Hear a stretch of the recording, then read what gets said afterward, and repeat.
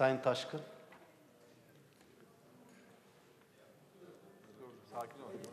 Teşekkür ederim Sayın Başkan. AK Parti olarak bundan 20 yıl önce Cumhurbaşkanımız Sayın Recep Tayyip Erdoğan güçlü liderliğinde hükümete geldiğimizde ülkemizin asırlık demokrasi ve altyapı eksiklerini gidermek için kapsamlı bir kalkınma programı başlattık. Ülkemizi geliştirmek, büyütmek, güçlendirmek, milletimizin refahını artırmak, hayatı kolaylaştırmak için çalışıp çabaladık. Eğitimden sağlığa, ulaştırmadan enerjiye, sanayiden tarıma her alanda ülkemizi baştan sona adeta yeniden inşa eden adımlar attık.